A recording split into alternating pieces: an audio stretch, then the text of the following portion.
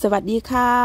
วันนี้นะคะแม่พึ่งจะพาเพื่อนๆมาทำเมนูเกี่ยวกับผักก้านจองค่ะ ปกติแล้วส่วนมากนะคะ ผักก้านจองเขาจะนำไปกินกับส้มตำนะคะ กินสด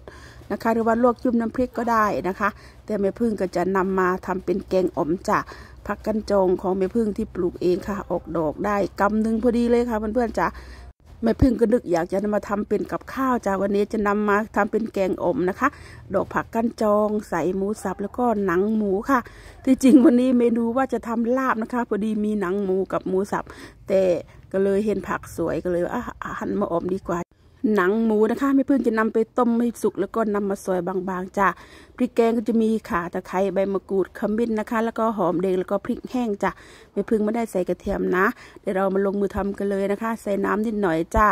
ใส่พริกแกงลงไปค่ะ ตามด้วยหมูสับจ้ารวนให้สุกก่อนนะคะ ผัดให้เข้าเครื่องก่อนจ้า พอหมูสุกดีแล้วนะคะแม่พึ่งก็จะใส่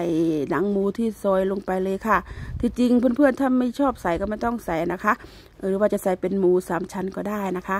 แต่ตัวแรกแม่พึ่งตั้งใจว่าจะทำลาบก็เลยได้หันมาอมแทนค่ะ ก็เลยได้ใส่หนังหมูนะคะปรุงรสด้วยน้ำปลาน้ำปลานะคะรสดีแล้วก็ผงชูรสจ้ะปรุงตามใจชอบเลยค่ะแล้วก็ตามด้วยผักกั้นจองของเราค่ะเพื่อนๆจ้ะผักกั้นจองใส่ตอนนี้ดูเยอะนะ แต่พอเขายุบไปแล้ว แทบจะมองไม่เห็นผักเลยค่ะเพื่อนๆนี่นะคะตามด้วยพริกลูกโดดจ้ะก็จะคนคุเลคุเลให้ผักเขายุบนะคะ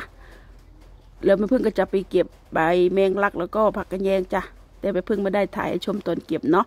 พอสุกแล้วก็ใส่ใบผักกระแยงกับใบแมงลักค่ะเพื่อนๆจ้ะก็เท่านี้ก็เสร็จแล้วค่ะปรุงรสชาติได้แล้วก็ถือว่าเสร็จแล้วนะคะแกงออมผักกั้นจองจ้าเส้นน้ำนิดหน่อยนะคะนี่ผักกั้นจอง กินดิบได้กินสุกดีจ้ะแซ่บนะคะเนี่ยสามารถทำกับข้าวได้หลายอย่างจ้ะใช่ว่าจะกินได้แต่ดิบกับส้มตำนะคะ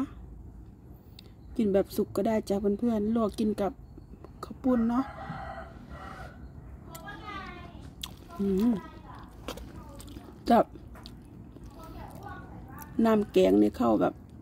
เข้าในตัวก้านดอกนะคะนี่ มาเด้อจ้าเพื่อนๆจ้ามากินข้าวด้วยกันค่ะ แกงอมผักกั้งจองนะคะ อร่อยค่ะเพื่อนๆ ถ้าใครเคยทำแล้วก็ทำอีกค่ะ อร่อยค่ะมากินข้าวด้วยกันค่ะ